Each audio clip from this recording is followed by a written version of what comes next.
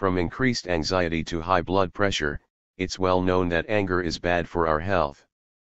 But a new study suggests becoming full of rage could change the structure of the brain itself, with the production of nerve cells in the hippocampus.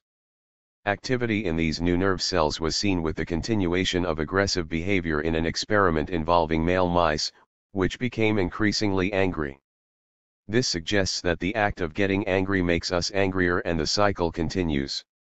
Neurobiologists from the Moscow Institute of Physics and Technology, MIPT, Russian Academy of Sciences, Cold Spring Harbor Lab and Stony Brook University, New York, explored the impact of anger on the brain in a study published in the journal Frontiers in Neuroscience. They looked at the changes that occurred in the brains of mice demonstrating aggressive behavior, such as attacking others and winning in fights. Pairs of mice were placed in a cage divided by a partition which allowed them to see, hear, and smell each other, but not to touch. Every day the partition was removed at the same time and the scientists noted it didn't take long for fights to break out. After two or three rowdy encounters, the winner was established and the pair separated again. After a win, dominating mice became even more aggressive. At the same time, new neurons were detected in their hippocampus one of the key structures of the brain which is used in the formation of long-term memory, and in navigating mazes, for example. Interestingly, the researchers observed activity in the new nerve cells of angry mice that were then allowed to carry on fighting. The team traced the effects of aggression in the brain at a cellular level by monitoring what's known as CFOS levels, one of the standard methods of actively searching for changes in nerve cells. Activating stem cells in the brain can lead to the generation of new nerve cells, which are needed to build the neural networks that play an essential role in memory, for example.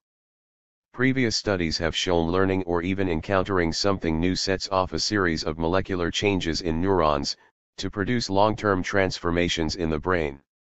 The researchers in the latest study compared the hippocampus and the amygdala, a brain region that is responsible for fear, aggression, and anxiety, to trace the influence of the aggression experiment on two key structures at once.